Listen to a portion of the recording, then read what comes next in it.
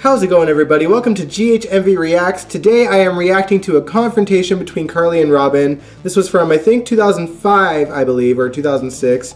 And I thought it would be a good week to do it because Laura Wright just passed her 15th anniversary with the show. And this was mentioned in the comments as a suggestion. So let's watch together.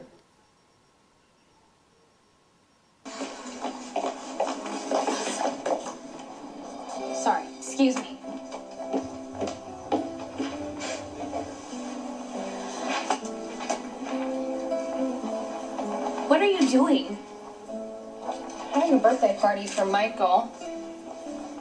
Pony is not gonna. I'll call Jason. He can bring his motorcycle. Little boys love motorcycles. You can't be serious.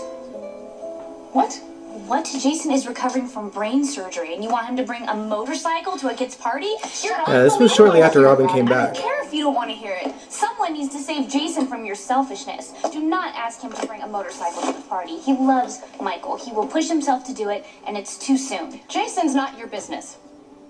You're not his precious little angel anymore, so why don't you go back into obscurity and leave us all in peace, okay? I can't believe you are still using Jason, still taking advantage of him. And I can't believe that you are still so jealous of me you can't even see straight. You can't stand the fact that Jason loves me, and you could never affect that.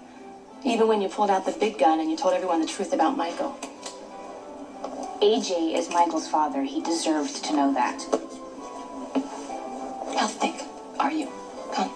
You still don't get the hell you unleashed, do you? Everyone suffered, Robin. Jason, Michael, including AJ. All because you took it upon your sanctimonious self to tell a truth that wasn't yours to tell. And you know what? You did it because you were jealous. Yeah, you were jealous. Because you were afraid that you I couldn't miss give Patrick. family that you knew I could. All because you were HIV positive.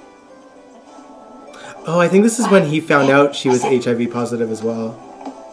You might fool the rest of the world, inspire pity and admiration for your courageous struggle. I know you for the snake that you are. And I know you for the hateful person that you are. No wonder Sonny won't take you back. You know nothing about me and Sonny, okay? Thank God you were on the other side of the world. Oh, please, it's not hard to figure out. Sonny got fed up with your insanity. So if you think that this new, improved version of Carly that you're trying to sell is gonna fly, you are in for a rude awakening. What's it like up there? Hmm? On that lofty moral perch where you look down your nose and pass judgment on the rest of us, huh? You would have thought somewhere along the line, after everything you've been through, you could pick up some empathy and compassion. Humility, maybe? You have the nerve to spout words at me like empathy and compassion, which you've never shown to anyone. Oh, I'm sorry, unless it suited your own agenda. How Jason could have spent more than five minutes in your miserable company Well, is he did. beyond me. He did, okay? No matter how much you hate it. Get out. Go. Take your miserable butt back to Paris, please. Raymond, you're finished in this town. Guess what? Your miracle drug didn't work. And you know what? You probably knew that it wouldn't. You played on Jason because he was vulnerable. Yeah. You thought, hey, if he feels obligated to me, I can slither his my way back into up. his life. You have nothing else to offer him. Certainly not the sex he was used to having. Okay, hey, No. enough. No, it's not enough. It has just started. Come on, Robin. Come on. Come on, Robin, come on! Get out of here. Get the hell out before I Oh. call security, or I'll throw you out myself. Look, I apologize. I apologize. miss when Carly was a mess. No, I don't want your apology. You want to be sorry for something? You're gonna be sorry for ruining my little boy's life just to get back at me. I can't deal with you or who I become when I'm around. Goodbye. Do yourself a favor. Do not fall for the wounded little girl act, okay? Robin Scorpio is not worth your time or energy.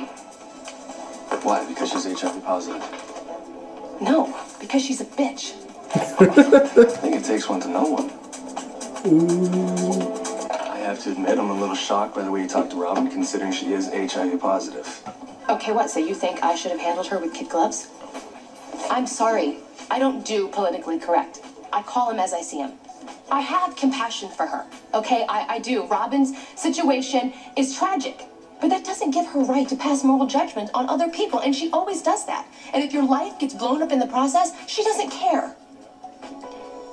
Okay, well, maybe Robin's overcompensating. Maybe she feels judged for having HIV. Maybe she's trying to maintain control over anything she can. I would think you could understand. You seem to know what it's like to have something to prove.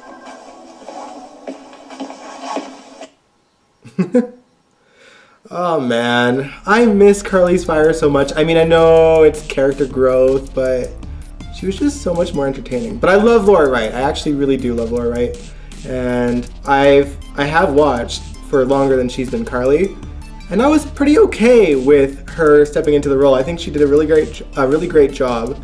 And then, I mean, y'all remember Carly number three, right? We don't really talk about her, but like.